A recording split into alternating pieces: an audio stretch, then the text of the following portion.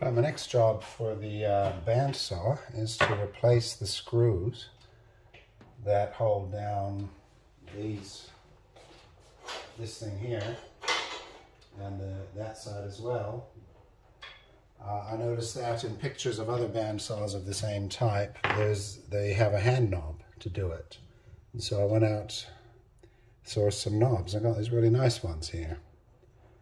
Um, yeah, they're great looking. They're just a bit too long, so I'm going to have to shorten those.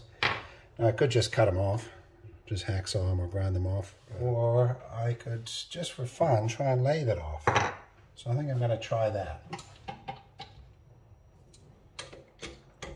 Been on the lathe for a while. 25, but it can be up to 30 or 28 or so.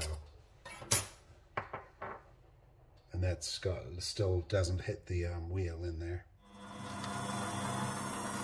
Not concerned about the knob wobbling.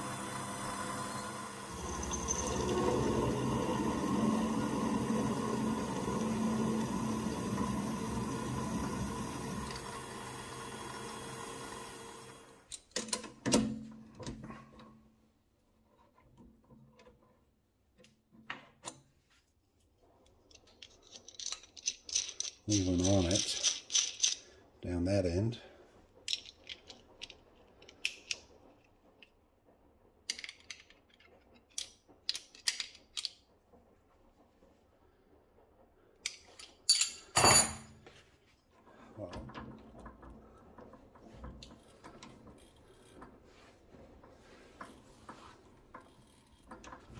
Yeah, that seems a little bit better. And the first one, just.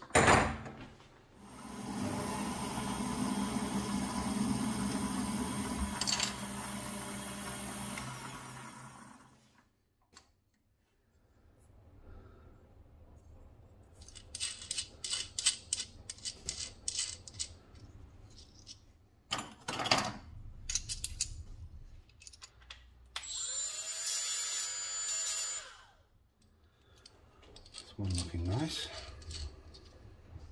And working well. I'll keep the same washer there, nice thick one, and there we go.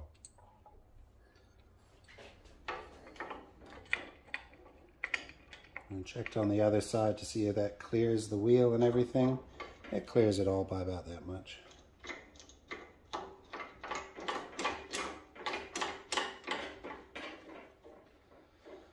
Go.